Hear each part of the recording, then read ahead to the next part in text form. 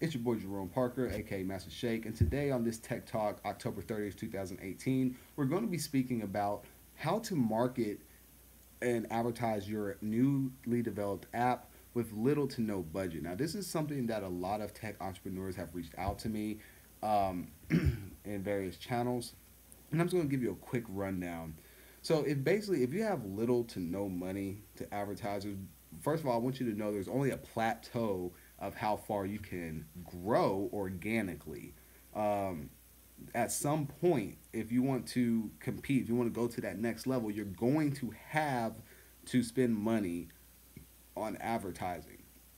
So I don't want you to think that these tips that I'm giving you are going to be able to last you the entirety of the lifespan of your startup or of your app because it won't. If you want to go to that next level, eventually you're going to have to spread spend some money. You're gonna have to break off some bread. Uh, because by yourself you can't. It, it, there's too many people. It's too saturated. The, the world's too saturated. But I digress. Now this stuff, what I'm going to tell you, it can be used to gain an audience, so that you can start making money and then reinvesting that money into marketing so that you can make more money. But that being said, if you have um, if you have little or no money and you're a developer, you, you know you're you're one man one woman army or a small group of developers. You built this you built this app and it's in production. You're ready to market. What you need to be doing is basically using all of the APIs from the various social media outlets and even stuff like Reddit and 4chan and stuff like that. And you want to be automating um, content, whether it's aggregated content, whether it's uh, you know AI curated content, what have you. But it also at the same time should not be 100% automated. You should still uh, 100% ran automated rather so you can have the automation running 24/7, but you should also have a human at some point, you know, points, different points in the day that are also interacting. Because what you need to do is you need to build an audience. You need to interact. You need to join and jump into conversations, and you need to get people interested in you and your brand. Okay, because if people are not interested, then why will they download or use your app? So that's the I mean that's the number one thing. Now this goes for if you are a developer or if you are a uh, just you know strictly business guy. You you paid and outsourced your app or you know what have you. Um, you're going to have to do relationship building, especially because this is basically what you're paying marketing people for, right? Whether you're doing online ads with Twitter or, or Facebook or Google, or you know you're paying some ad agency you're basically paying them for their contacts. Okay? Their contacts are they did all the relationship building so that you can get they can get the impressions um, in front of people so that the, so that the people that they know see your content. The only other way to do that is to build that audience yourself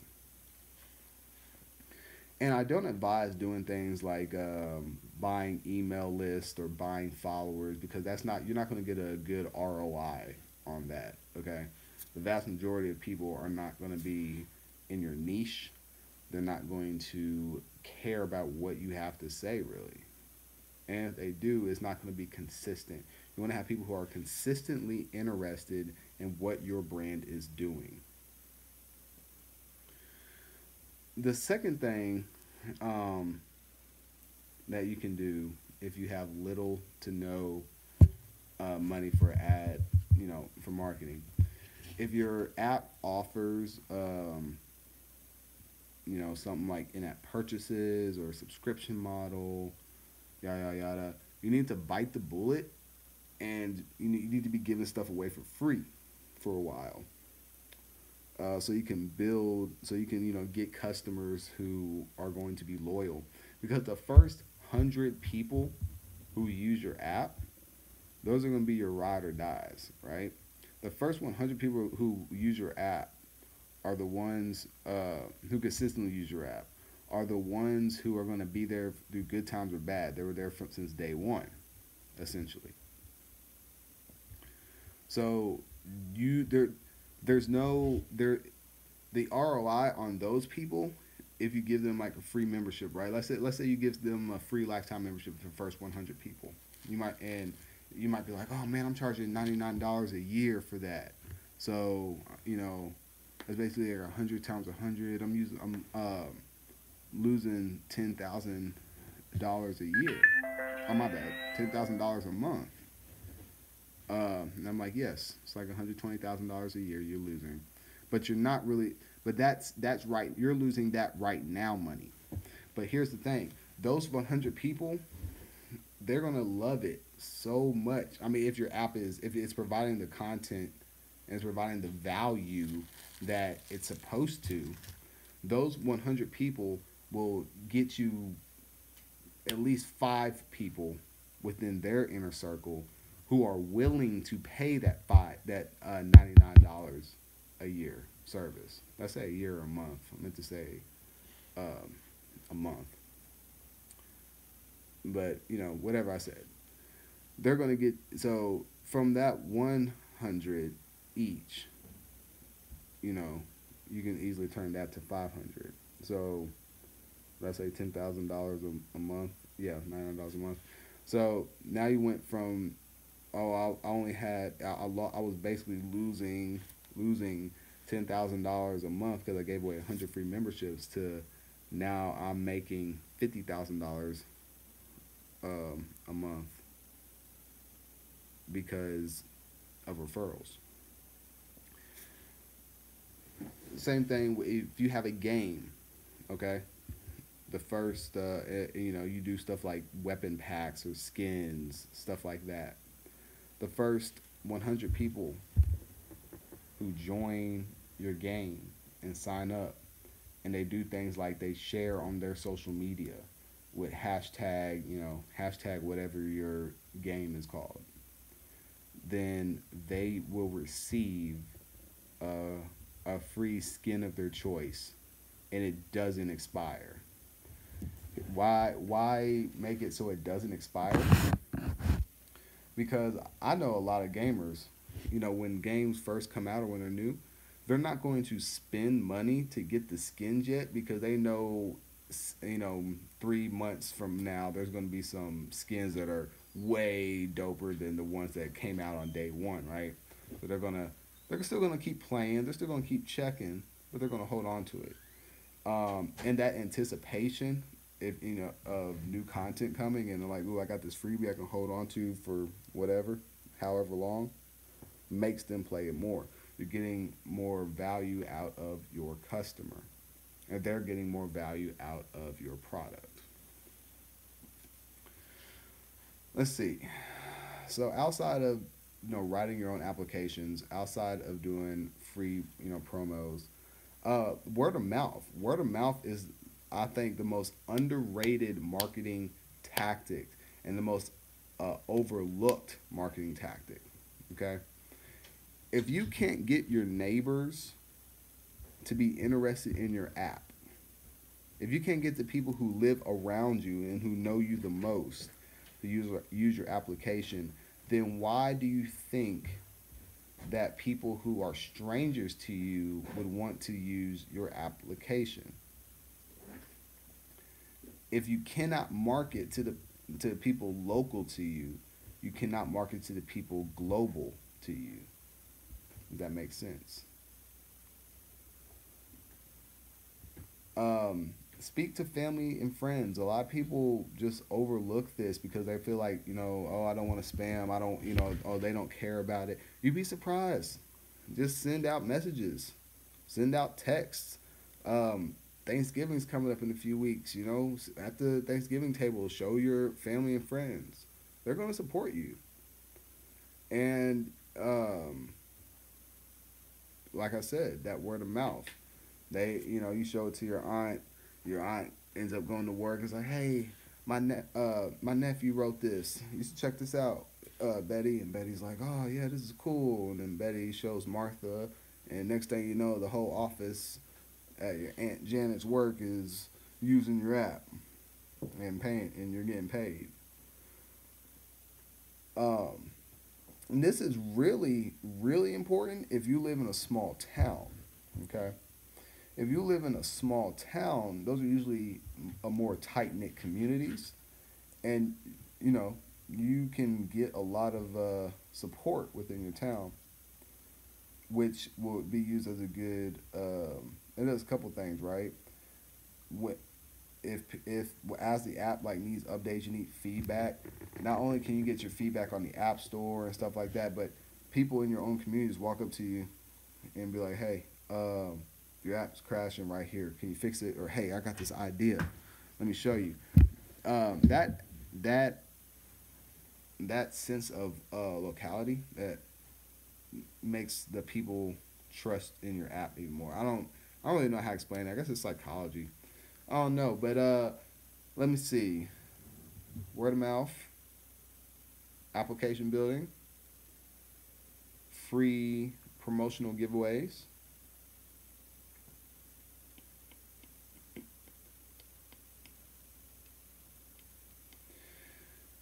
Well, I kind of already spoke on, on that when I was talking about engage engagement. I was going to say email list. Uh, you know, email is still the number one um, marketing tool that's used, whether you want to believe it or not. So, while you're building your application, you should definitely be um, curating um, emails. You want to be gathering emails you want to be sending out professional looking uh, emails out you know if, if it whether it's in the form of let's say you're building the app you know updates on development uh, once the app is done you know um, feature enhancements uh, if you have a blog blogging blogging is a very is another good way um, to promote your app. You know, you have stuff like Medium now. Anybody can go on, on Medium and blog. Uh, you got stuff like WordPress. You have uh, stuff like Tumblr. All these all these platforms that allow the written word to get out. And um, you know, let's stick with Medium.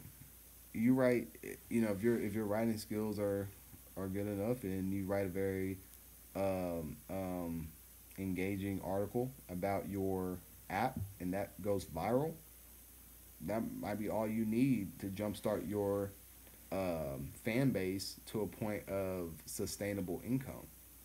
We live in this age of virality, and um, I don't even know if that's a word, but I'm gonna use it. You know, going viral can make or break a startup. If it's good, it can make it. If it's bad, it can break it. That's really all I got.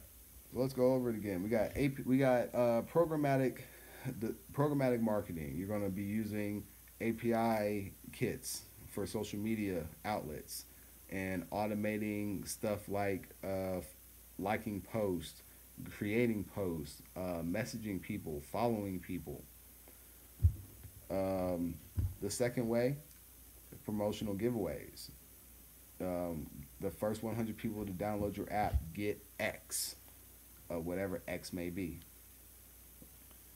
The third way is um, old school word of mouth slash email marketing, which is basically digital word of mouth. Um, going, you know, speaking to your neighbors, speaking to people in your community, getting them engaged and interested in your application and getting them to support you before you try to reach a global market. And then the last one is um, uh, blogging, using platforms such as medium.com, Tumblr, and the like to put out articles, put out your own PR releases of your application and um, like I said, if it's if it's done well enough, then it could possibly go viral. And blogging also includes vlogging, so you know, doing video presentations on YouTube and this and the like. But that is basically it. Um, if you like this video, please hit the like button, subscribe to my YouTube page, If you have any comments, please leave them below. I will try to respond to all of them, and I I, tend to do my follow up videos based on the comments. So if there's anything you want me to touch on, I will definitely speak on it.